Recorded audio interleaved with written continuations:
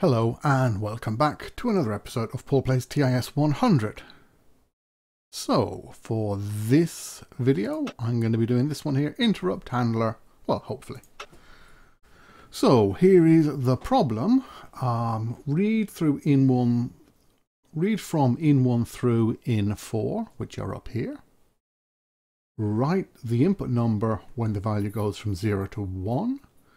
And two interrupts will never change in the same input cycle. So we're looking for these guys going from a 0 to a 1. And when one of them does, we write the number, whichever one did, down here. So, you know, it's only from a 0 to a 1. So if it's in a 1 and we get another 1, that doesn't count. We don't want to, you know, um, there are plenty of them which are 1 at the same time. Um, so I need to know whether each one, what state it's in, like whether it's in a zero or a one state, and then depending on what I find coming in, I need to act appropriately. So to do that, I think I am going to model the state just in the program. So we're in either, so what I mean by that is I'm not going to try and record the state and compare it to it and do, I'm just going to say we start off in state zero here and I move up to an accumulator.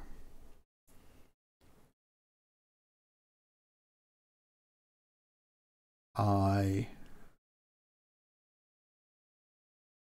want to compare that now. So I'm in zero. So the only thing I want to know is have I got a one? So jump on not zero to let's say changed. Otherwise, I've got a zero. Now the question is, do I have to put something out each time? Um, yeah, let's say I will. Let's say, you know, if I'm in a zero and it's unchanged, I'm going to bang out a zero. Okay, Otherwise, I'm going to bang out the number. So in this case, I'm going to bang out 1. Bang out. That's not very technical, is it?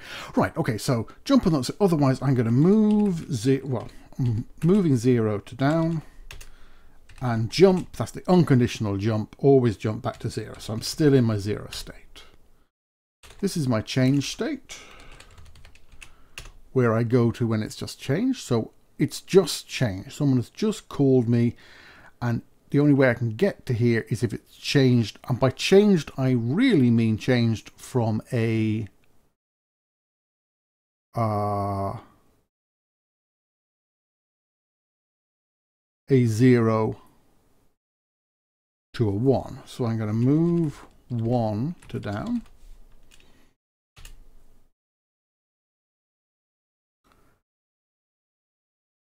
And that's pretty much it. Then let's say I'm in my one, then if I fall into my one state.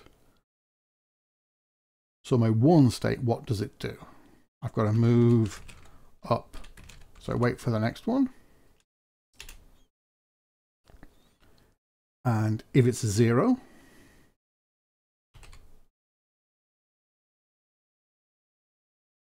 so I'm in the one state. So no matter what happens in a one state. So I've just, I'm in a one state, I've just read a value. The, nothing, I can never trigger it. I never can trigger an interrupt if I'm in a one state. So, the, so I'm going to move uh, zero to down. Now, depending on what I've just seen, so I have whatever I just value in the um, accumulator. Um, I've thrown a zero down there. Now, so if it's now zero, I want to jump to my zero label. Otherwise, I'm jumping back to my one label. Wow. Okay, so that looks so you can copy and paste. So control C, control V, control V, control V. The only difference I want to do is I want, instead of this being a one, and letting the other one figure it out. I'm actually going to put the number that changed down here, 3 and 4. So, what happens here? Whatever value here, I'm, this is where I need to get the output eventually. So whatever happens here, I'm just going to move it, move to right.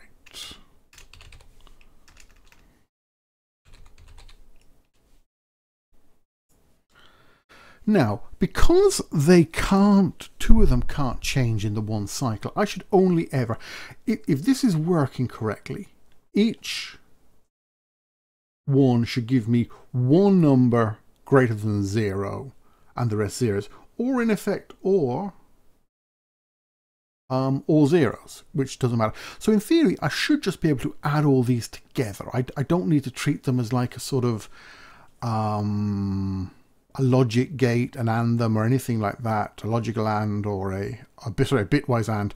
I can just start um, adding these together because addition looks like it'll work. So if I was to move left to the accumulator and add up,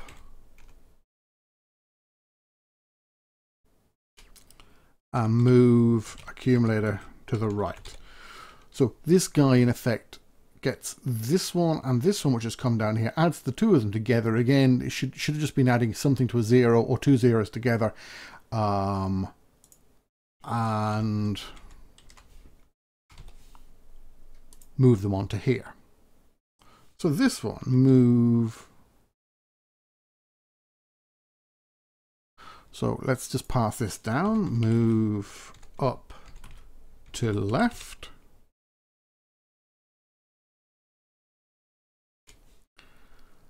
Move, let's say, up to the accumulator add what's in the left, add what's in the right,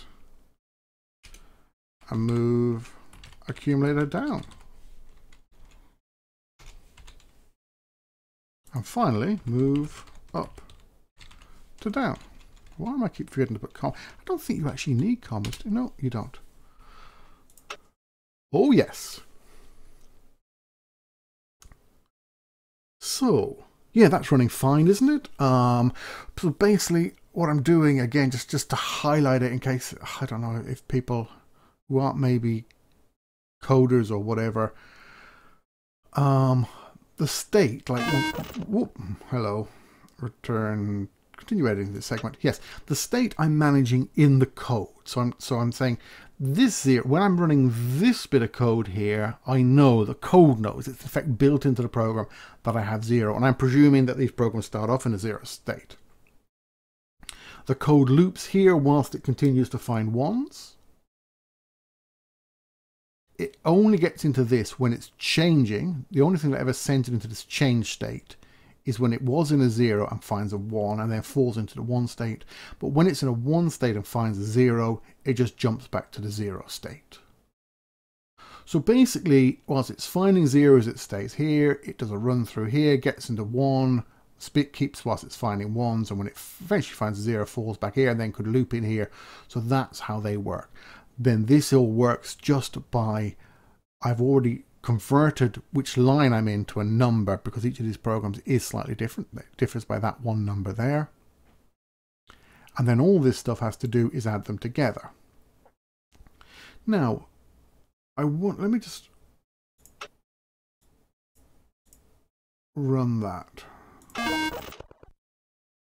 So that was 203 cycles, I think.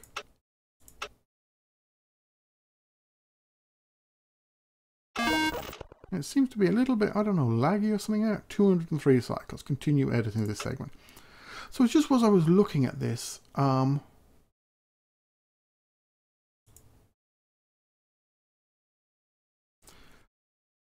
logically, what, the way I'm thinking about it is here. When I'm in the one state, I move up to the accumulator and move zero to down. But I wonder what would happen if I split, if I move them the other way around. Move 0 to down.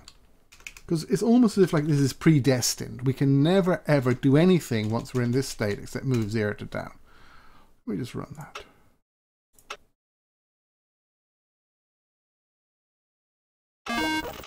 No, made no difference at all. Because I was just wondering, would... Um...